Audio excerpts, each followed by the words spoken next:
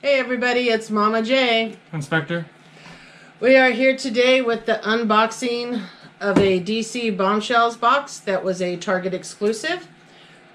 We also, just a couple other things to show off that we picked up. DC Bombshells Wonder Woman um, was a Target exclusive in black and white.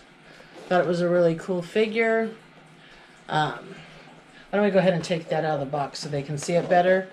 And yeah, and then I got this uh, Gwenpool, which I just thought was so cute, being pink. And it was a 2017 summer convention exclusive. I didn't pay very much for it. I just thought it was a cute pop, so we went ahead and added that to our collection also. And then he uh, has pulled that one out of the box. Wow. It's a really cool figure. Whoa, I don't think she stands really well. Does she get a... Oh, she does. She does have a stand. I was like, oh. She's Rock Candy, um, Wonder Woman. She's really cool. I really like her. So let's get straight to the box. And um, let's go ahead and just put that to the side for now. And we want to cut this open.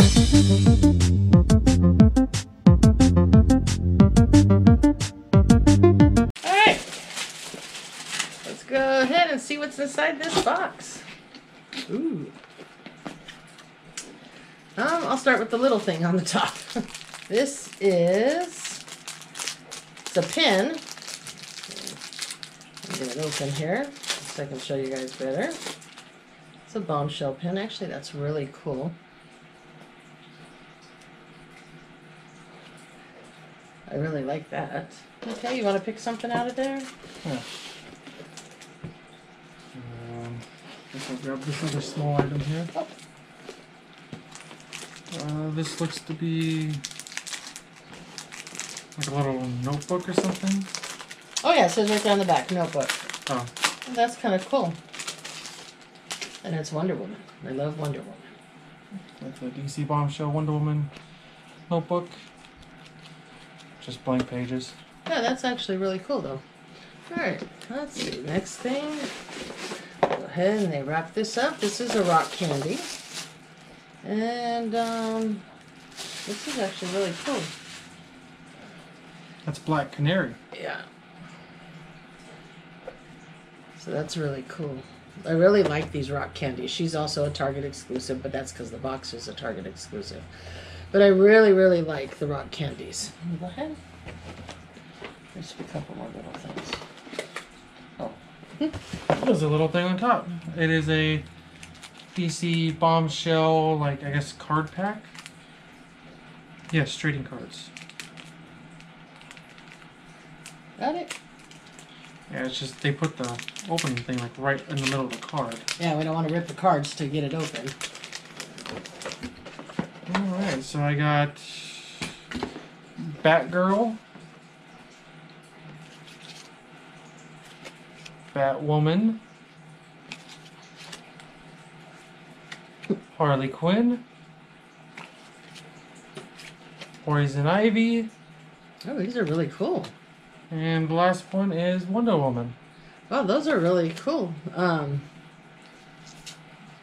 I don't know if there's a whole collection or just these five, but I think these are really cute. You could always put them in a frame or something, because they're all actual Funko Pops. You could tell by looking at the Yeah. way their heads are shaped in the photos. But that's really cool.